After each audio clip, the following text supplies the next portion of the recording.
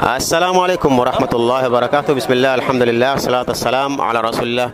Bado tuko katika siku ya International Youth Day na hivi sasa niko na waziri wa elimu, kwa hivyo nitakuwa sina suali la kumuuliza isipokuwa tu ni kumwambia katika siku hii ya leo ambayo sisi twasherehekea kunyanyuliwa kwa vijana, je, kwa upande wa elimu mumewapangia vipi vijana wetu?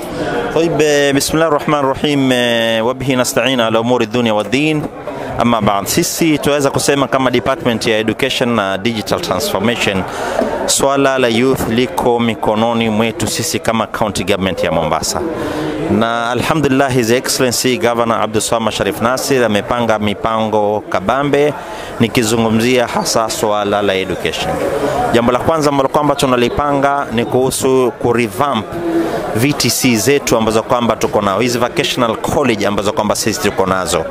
Njia nyingine ambayo kwamba tunaitafuta ni kutafuta equipment na kozi ambazo kwamba zitakuwa zinaenda na ulimwengu wetu namna ulivyo, yaani watoto wetu wakimaliza katika hizi college zetu waweze kupata kazi kwa njia za kirahisi. Twalielewa wazi na tumechangulia kusema mara nyingi, result zetu za Mombasa za 2022 hazikuwa result mzuri. Kwa hivyo twajipanga kwamba wale ambao kwamba wame drop up hawakuweza kuingia university. Kama sisi County Government of Mombasa ikishirikiana ofisi yangu ya Department of Education pamoja na eh, His Excellency Governor Abdul Samad kurevamp kuzi-equip VTC vetu ili watoto wetu mayuthi wetu wakimaliza form 4 ikiwa hawakupata nafasi ya kuingia university, basi tuweze kuwasindikiza na kuangalia namna gani wataendelea na masomo yao ya, ya, ya college. Kitu kingine ni kwamba tunatafuta fund kwa njia yoyote kwa kupitia county government, namna gani tutawafund wale ambao kwamba ni needy students, kama anavyosema mwenyewe Governor Abdulswamad Sharif Nasir, kwamba tunapanga kuweka mikataba sisi na HELB ambao kwamba itawaweza kuwasaidia wanafunzi kuwapa mikono, mikopo without interest ambayo itawasaidia katika kuendeleza masomo yao kama hawa. Kwa hivyo twalipongeza hili International Youth Day ikishiriki, ikishirikiana na ofisi kuu ya governor. Sisi kama watu wa education tuko hapa, mayuthi pia ni upande wetu. Tunataka kupunguza wale ambao kwamba wanatumia mihadarati na hakuna njia nyingine isipokuwa ni kuchukua vijana kama hawa, kuangalia namna gani wataandikwa makazi na namna gani vijana kama hawa watapelekwa katika vocational training college waweze kusaidia na masomo kama haya. Naam, uh, umetaja mambo mazuri. Umesema kwamba result zetu za KCSE 2022 hazikuwa mzuri katika kaunti ya Mombasa, na bila shaka hii ni problem ambayo iko karibu Kenya nzima, lakini la nyumbani linakuumiza zaidi. Kwa mfano kwenye maths na chemistry, zaidi ya nusu ya wanafunzi waliofanya walipata E. Je, muko tayari kwa mradi ambao utatukuza hapa kwamba tukitoka baada ya hapo tuzione hizi E zimebadilika angalau ni C na, na zile C zimebadilika ni A. E, mimi katika kulijibu swali lako bosi wangu, kwanza tumeanzisha mentorship program na alhamdulillah last April holiday mentorship program tunaweza tukasema ilifaulu 100%. Tulianza na 15 school kama pilot program ambao kwamba wanafunzi wetu wakati wa holiday ilikuwa bado twawabakisha katika mashule yao, wengine wakifanya activity tofauti tofauti kuwa maintain namna gani wata uplift standard ya masomo yao tumeunda jopo ambalo kwamba laweza kuwasaidia hawa wanafunzi kila wakati waendelee kusoma ili kuwa na hamasa kwamba kuna mtihani wanakuja. His Excellency Governor Abdulswamad Sharif Nasir amechukua initiative na sisi tuko tayari tarehe 14 kuanzishwa mentorship program ambao kwamba sasa hivi haitakuwa kwa shule 15 peke yake. Tunasonga mbele kuanzia form 3 mpaka form 4 safari hii watakuwa katika mentorship program kama hii.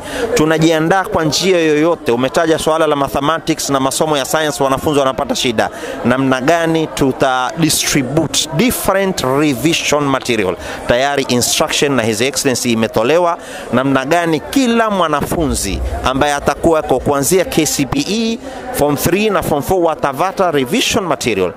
Jambo lingine gavana ambalo kwamba ameinstruct kwa Department ya Education na Digital Transformation, sisi ni kuwa na vituo ambao kwamba vituo venyewe kwa sub county Likoni kutakuwa na vituo vake, Kisauni kutakuwa na vituo vake, Mvita vake, Jomvu vituo vake, Nyali vituo vake. Vituo hivi itakuwa ni kwa uplift standard walimu ambao kwamba watakuwa wanafundisha masomo ya ziada watoto kama hao, tunaweza kusema kwa lugha nyingine tuition, basi sisi kaunti ya Mombasa itakuwa ndio inawalipa walimu kama wale, na tayari tunafanya mipango kuona Kisauni tutatumia maholi gani, Mjomvu tutatumia holi gani, kule Likoni tutatumia mahali gani.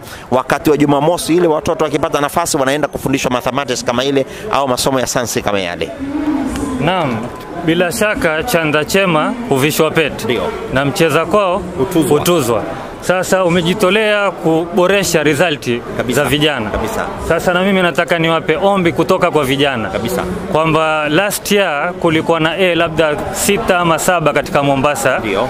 Sasa tunataka mara hii tuziongeze Kabisa, na bila shaka mpaka kupatikane zawadi kubwa Kabisa. ya kuwatia watu morali. Kabisa. Je, mko tayari? Manake mashallah, nimeona upande wa basari mumetoa basari nyingi, more than 150 million kama sijakosea.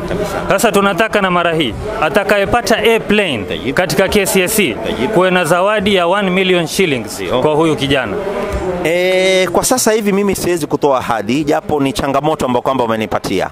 Kitu ambacho kwamba nitafanya, nitashauriana na His Excellency Governor tuone ataweza kuwafadhili wanafunzi kama hawa kivipi. Wale watakao kutoa A's tuseme, mimi sitatoa ahadi, lakini niko na mipango kabambe kuangalia namna gani hawa watapata full scholarship ya wao kuendelea masomo hata kama ni nje ya nchi Uturuki, na ninajua karibuni tutakuwa na trip za huko kuangalia wanafunzi ambao kwamba watascore sio wa peke yake, hata wengine tu namna gani tutawazawadia zawadi waweze kuikumbuka Mombasa County. Hii ndio wajibu wetu na tutalishughulikia kwa uwezo. Ujumbe wenu utafika kwa His Excellency. na bila shaka tukiwakumbuka wanaopasi lazima pia tuwakumbuke wanaofeli. Maanake a society is judged by how it, it treats its, its cream but also but how it treats its criminals. Kabisa. so wale waliopata hii kuna vijana wengine ambao wako na talanta zao. Labda mtu anajua kuogelea ama anajua kuvua. Je kuna mpango gani wa kufanya recognition of prior learning? Kwamba zile skills zake alizonazo apate recognition apate certificate na apate kujiendeleza kwenye certificate na diploma ili na yeye awe na upward mobility ajione na yeye ni mhusika katika nchi hii kama vile wengine. Wale drop up tumesema upande wa form 4 nimechangulia kumweleza ndugu yangu Alaha Boshorem namna gani twapanga ku revamp VTC vetu zile vocational training college zetu. Tunajua kuna ease nyingi ndani ya sio ndani ya Mombasa County peke yake, nyingi tu kwa mtaala tulionao wa 844. Wanafunzi wengi wamepata alama za E, kitu ambacho kwamba tunapanga namna gani tutawachukua hawa waanze certificate courses, waende diploma mpaka waende higher diploma.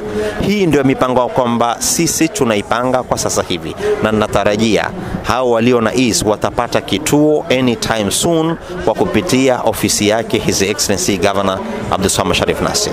Twasema tuko tayari kushirikiana na karibu, tumeambiwa na gavana tuanze kuingia mitaani, tuwakusanye wazazi, tuwakusanye vijana, tuwakusanye machief, tuwakusanye wazee mtaani, tusikie tatizo hasa liko wapi la wanafunzi kuanguka mitihani kama hii.